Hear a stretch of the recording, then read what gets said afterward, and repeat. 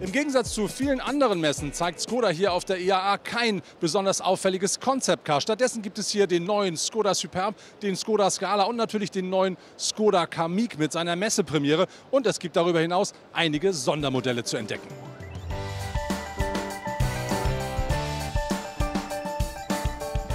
Das hier ist ja der neue Skoda Superb IV und das ist der erste Plug-in-Hybrid der Marke. Der Wagen hat einen 1,4 Liter Benziner an Bord und der ist gekoppelt mit einem 85 kW starken Elektromotor.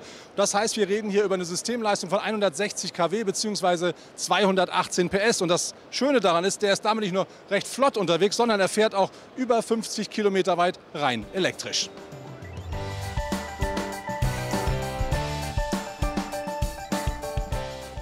Das hier ist der neue Skoda Citigo IV, der erste voll elektrische Skoda überhaupt.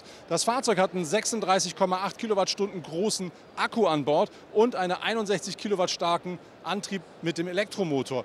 Und das ganze Paket hier reicht dann für eine Reichweite nach WLTP von 260 Kilometern. Das Schönste aber an dem Auto ist der Preis, denn der liegt bei ungefähr 20.000 Euro.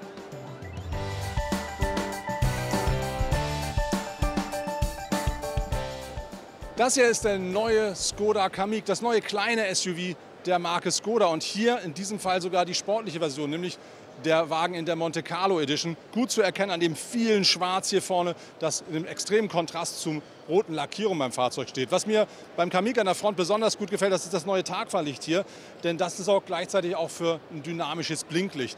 Außer dem Kamiq, dem kleinen SUV, gibt es hier am Stand aber noch einen weiteren Skoda in der Monte Carlo Edition, nämlich den neuen Scala, ebenfalls besonders sportlich.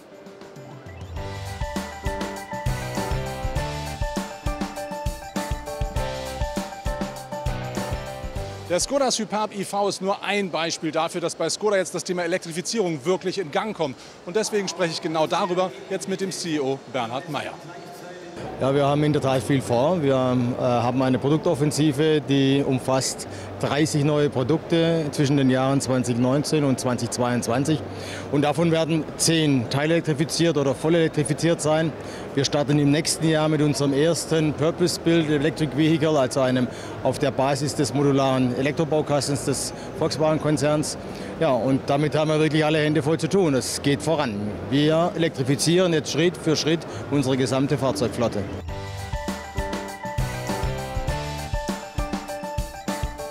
Dieser Skoda Octavia hat mit den Fahrzeugen, die wir hier auf der IAA sehen dürfen, bei Skoda nicht wirklich etwas zu tun. Denn Skoda ist jetzt nicht mehr nur simply clever, sondern bald auch voll elektrisch.